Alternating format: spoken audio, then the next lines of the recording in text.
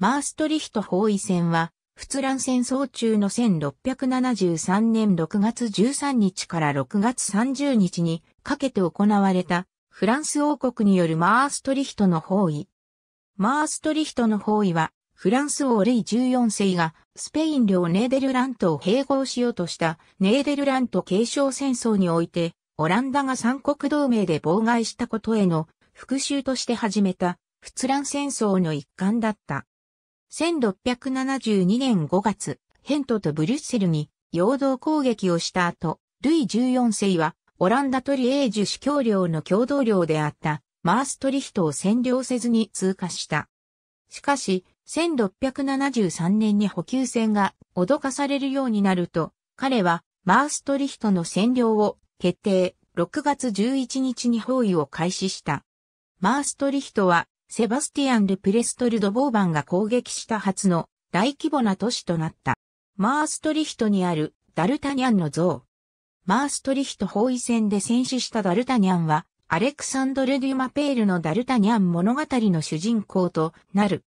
大砲で城壁に砲撃するほか、ボーバンは6月17日から18日にかけての夜、残壕をトンフレモンの前、城壁と並行して稲妻型に残壕を掘るよう命じた。残壕により、守備軍はフランス軍にうまく攻撃することができず、公兵が防御工事の元まで進んで爆弾を埋めるときには、遮蔽にもなった。6月25日には、トンフレモンの前にある確保トラブリンへの教習の用意ができた。6月24日が洗礼者、ヨハネの記念日だったため、ルイ14世はマーストリヒトの教会でのミサにてそれを祝うべく、24日までに包囲戦を終わらそうとした。残壕がすでに完成していたため、ダルタニャンの指揮下にある国王連隊とハイロマスケット渋滞は進軍を開始、堀を越えて半月型の保塁を一つ奪取した。フランス軍の大半はスペイン軍の派遣隊により追い出されたが、約30人がその夜を持ちこたえた。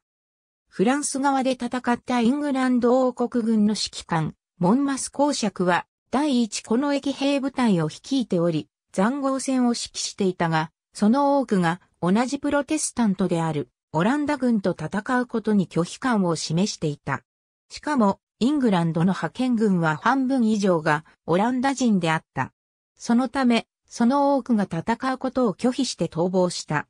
ヘンリー・ジョーンズ・オブ・オックスフォードシャーはフランスにおけるイギリス軽騎兵連隊を徴募して戦ったが戦死した。ジョン・チャーチルという大尉がモンマス港の下で働いたが、彼は堀を守っている遮蔽のある道を奪取しようとして300人の損害を出した後に撤退した。彼はアウトワークに旗を一本刺さった。しかし、翌朝にはオランダ軍のジャック・ド・ファリオがラブリンを奪還した。この半月型のラブリンは、包囲軍を両歩にたどり着けないようにするための防御工事であった。確保は、周りが尖っており、あらゆる方向からの接近を防いだ。モンマス港が再び強襲を仕掛けて撃退されたが、その最中にダルタニャンが戦死した。モンマス港は自身よりずっと年上で経験豊富な将軍のように振る舞ったという。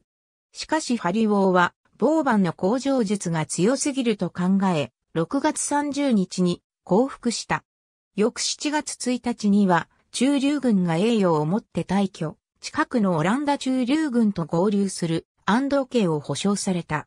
イングランドで不人気であったこの戦争は1674年2月のウェストミンスター条約により終結した。